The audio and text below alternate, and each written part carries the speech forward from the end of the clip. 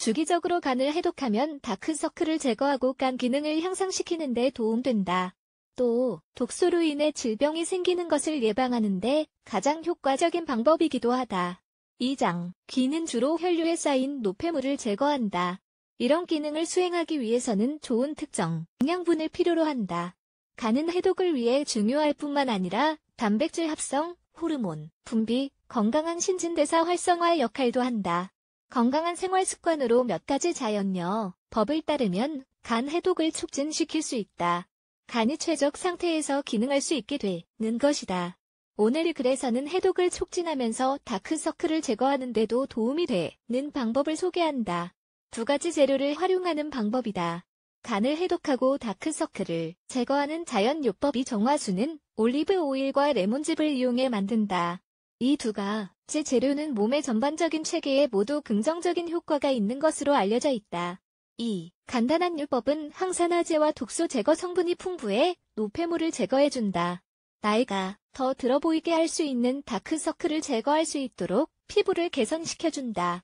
먼저 두 가지 재료의 효능을 설명한다. 효능을 알고 나면 이 두 가지 조합이 간 정화에 왜 좋은지 좀 더 쉽게 이해할 수 있을 것이다. 다크서클을 제거하고 간을 청소하는 올리브 오일의 효능 이 건강한 지방은 인기 있는 지중해식 식단에서 빠지지 않는 재료이다.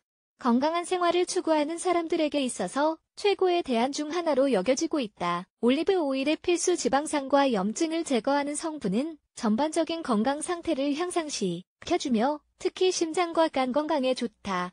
올리브 오일은 항산화제, 비타민, 무기질이 풍부한데 이들은 활성산소의 손상을 막고 질병이 발생하는 것을 예방하기 위해 몸에서 노폐물 제거를 촉진한다. 다크서클을 제거하고 간을 청소하는 레몬의 효능 레몬의 해독 성분은 수세기 동안 잘 알려져 왔으며 이 때문에 이 감귤류 과일이 다양한 건강상의 문제를 예방하기 위한 영양 보충제로 사용되어져 왔다.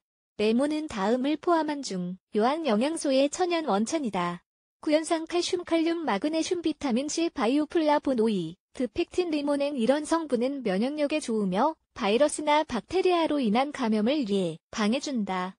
이에 더해 레몬은 올리브 오일처럼 중요한 항산화제를 함유하고 있는데 이것은 활성산소의 효과를 중화하고 세포의 손상을 줄이며 몸 전반적인 세포의 재생을 촉진한다.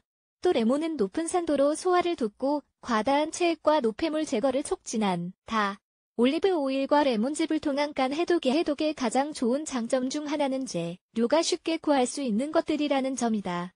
이 예법을 1년에 한 달, 최대 3번까지 따라보자.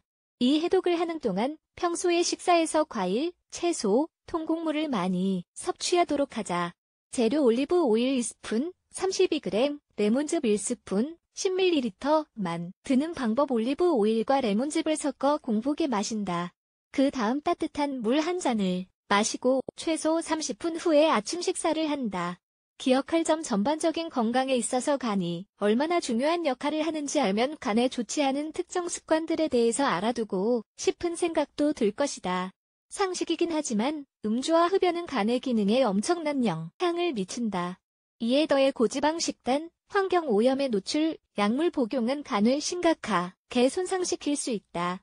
결론적으로 모든 사람은 몸에 독소가 쌓이는 특정 요인들에 어떻게든 노출이 되어 있으므로 가능한 한 건강한 생활 방식을 유지하며 이런 정화제로 가끔 간을 해독하는 게 좋다.